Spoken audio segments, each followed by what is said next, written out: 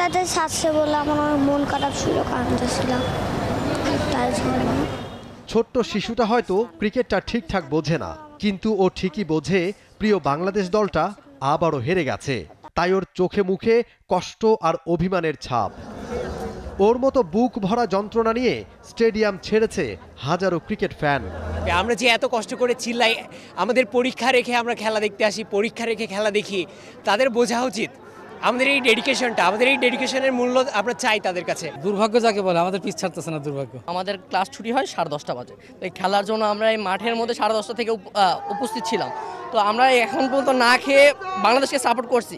তো বাংলাদেশ এর ফলশ্রুতিতে আমাদের কি একটা গিফট করল? বাংলাদেশ হেরে গেল। লাল সবুজের এই দলটাই তো এনে দিয়েছে অনেক জয়। অনেকবার আনন্দের উপলক্ষ এনে দিয়েছে সমর্থকদের।